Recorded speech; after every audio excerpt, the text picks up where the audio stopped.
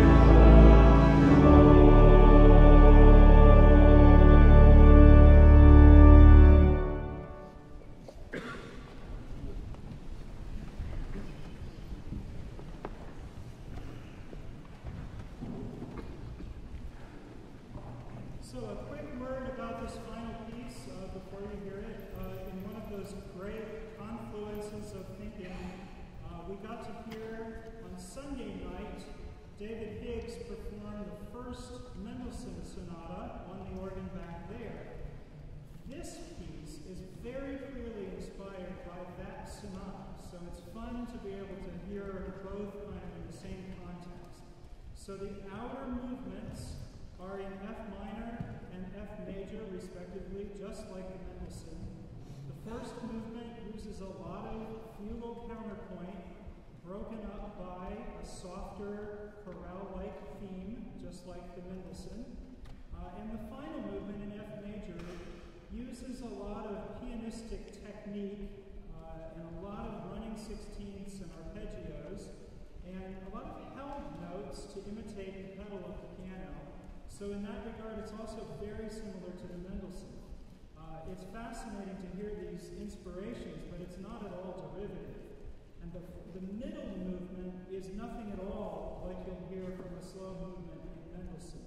I think the middle movement is much more inspired by the rising influence of the symphonic music of France.